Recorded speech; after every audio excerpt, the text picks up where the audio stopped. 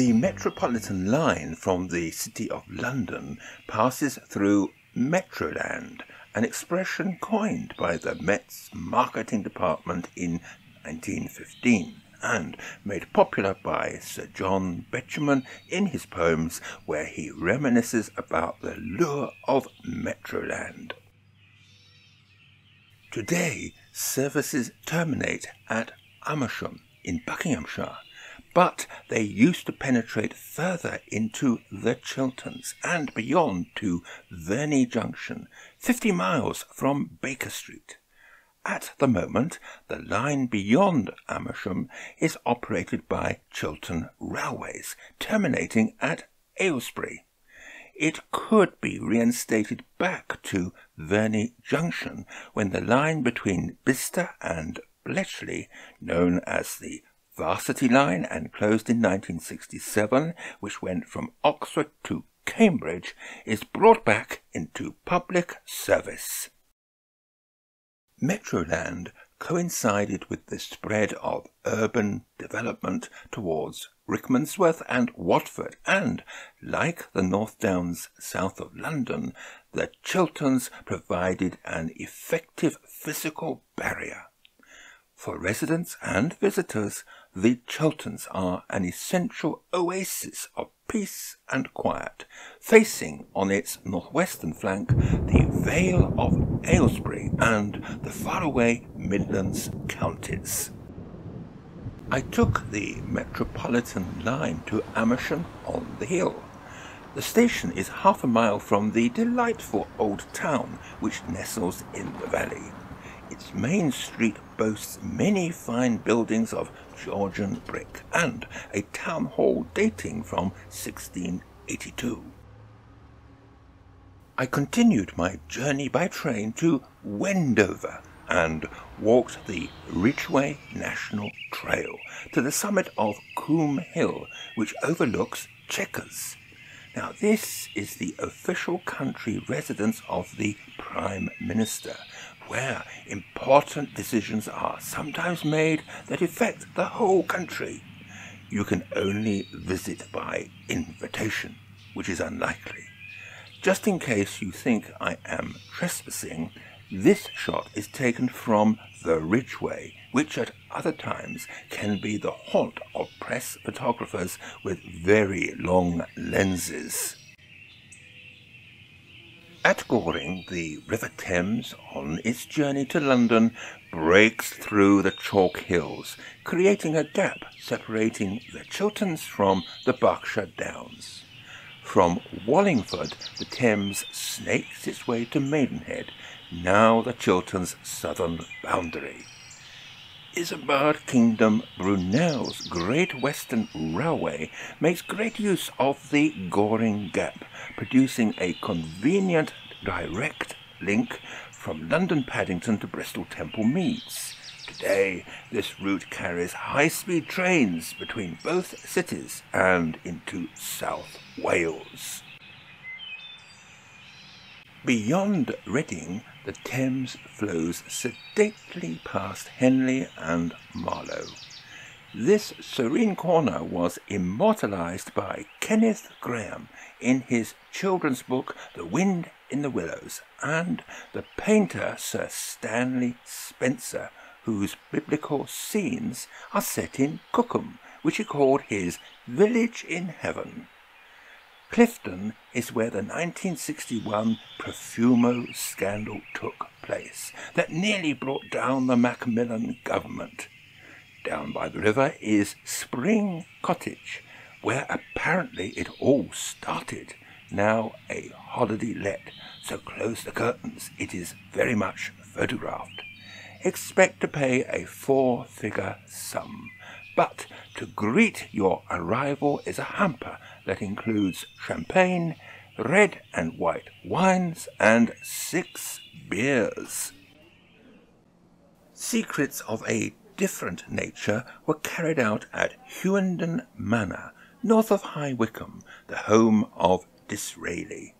It was requisitioned during the Second World War in 1941 by the Air Ministry for map making by updating old German road maps to assist covert bombing raids. The National Trust acquired Hughenden in 1947. It was not possible to present the house as it would have been in Disraeli's time, as many items have been dispersed. Its atmosphere as a country retreat from his life as a politician has been retained. He was also a writer, completing twelve novels and other shorter works, and was a close friend of Queen Victoria.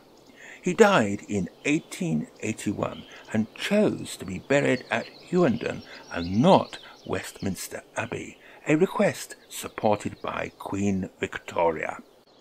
The Chilterns has many grand houses, and although not in the area of outstanding natural beauty, Waddesdon, just beyond Aylesbury, is one of the finest in the country. Nevertheless, by alighting at Chalfont and Latimer on the Metropolitan line for a walk in the Chess Valley, Chenies Manor is not far, and Latimer Village is a delight in itself. Chenies is one of our finest Tudor houses, previously known as Chenies Palace, that played host to Henry VIII and Elizabeth I. It may look familiar as it is the perfect location for period TV dramas.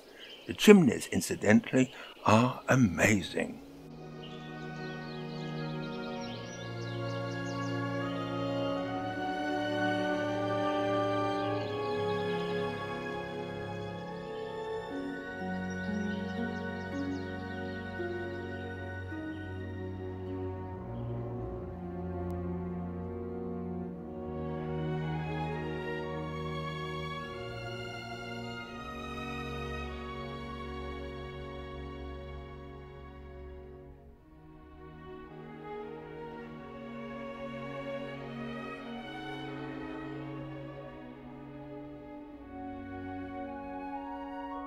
Dedicated walkers to the Chilterns head for the high hills. Coombe Hill at 852 feet is one of the highest points on a ridge that continues to Dunstable Downs. The Ridgeway Trail keeps mostly to high ground, and at Dunstable Downs your visit may be accompanied by gliders swooping and hovering silently on air currents generated by the hills.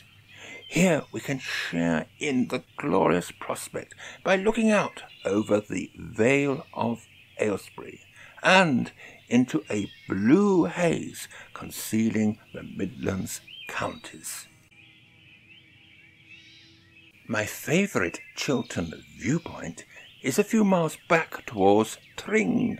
It has a station on the London Midland line, but instead of heading into town, walk the other way on the Ridgeway Trail to Aldbury, one of those locations featured in a couple of television Midsomer Murders episodes but I think we are okay.